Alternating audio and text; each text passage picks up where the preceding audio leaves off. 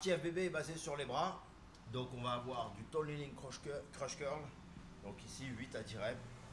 On la tient comme ceci. On la serre. Biceps en crush curl. Ok.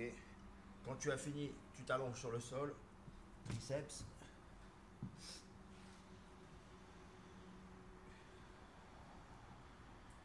Ok.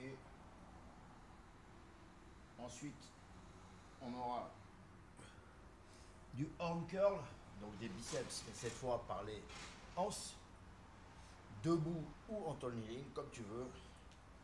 Ici, par les cordes. Et pour finir, des diamond push-up, des pompes serrées sur la kettle. Ici. Ou alors, tu peux la mettre comme ceci, c'est toi qui vois. Donc on est sur 8 à 10 reps pour chaque mouvement. Le poids, c'est toi qui le détermine. Trois séries de l'ensemble.